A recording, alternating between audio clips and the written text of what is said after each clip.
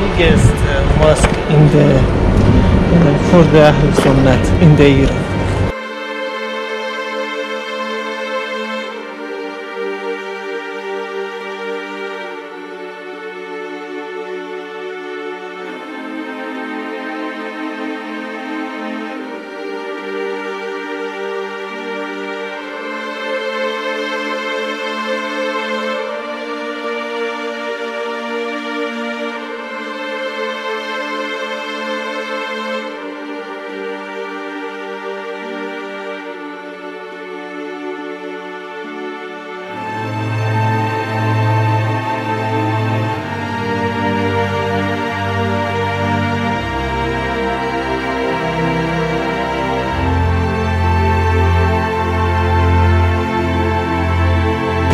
How many tourists are coming here? Uh, every day is two or three.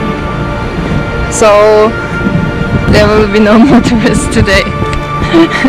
You are two.